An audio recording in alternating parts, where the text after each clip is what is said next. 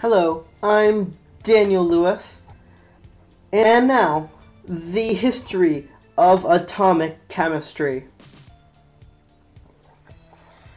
The first model was by Democritus, around 400 BCE, who gave us the word for atom from the Greek word atomos, which means unable to cut, because atoms were thought to be indivisible particles.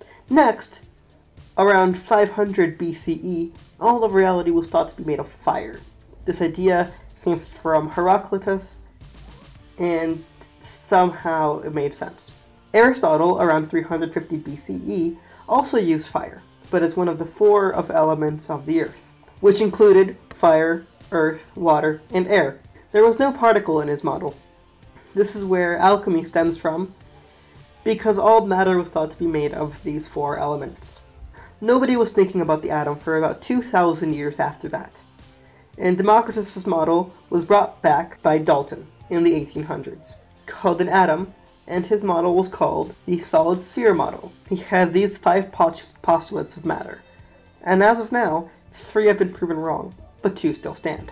Democritus' and Dalton's indivisible particle was found to be made of smaller particles, subatomic particles, if you will, through an experiment with the cathode ray tube by J.J. Thomson in 1840. The cathode ray tube experiment showed a beam of negatively charged particles that were repelled by the negative part of a magnet and attracted to the positive side, meaning that there was a negatively charged particle. Thomson then knew that there must be a positively charged particle in the atom. He gave us the plum pudding model, with the negatively charged particles, known as electrons, 2,000 times smaller than the atom, and protons also in the atom, arranged evenly. Now comes the gold foil experiment, which gave humans the existence of the nucleus. In 1911, Rutherford did the gold foil experiment, shooting alpha particles, identical to a helium nucleus, at gold foil, expecting them to pass through.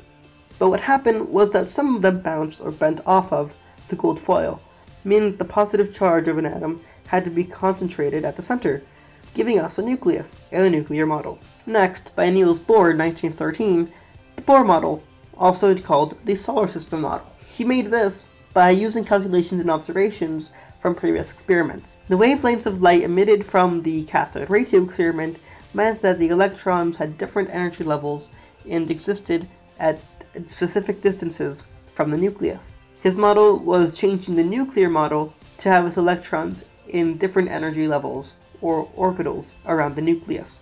Niels Bohr thought that one could almost predict where an electron is by its energy levels. In 1926, Schrödinger and Heisenberg said that it is impossible to predict the speed and location of electrons, and gave the and gave humanity the electron cloud model or quantum mechanical model. The rigid ring orbitals of the Bohr model dissolved into clouds, and that there are areas around an atom where electrons would be more likely to be found. The location of electrons relative to a nucleus was shown by probabilities in this model. Until 1932, the electrons and protons were alone in the electron cloud model, and then came the neutron. James Chadwick found that the proton is not all of the mass in the atom's nucleus, and that there was a particle with neutral charge in the nucleus with almost the same mass as a proton. And looking for this, he found the neutron and added it to the nucleus of the quantum mechanical model slash electron cloud model. Thanks for watching. I hope this made sense.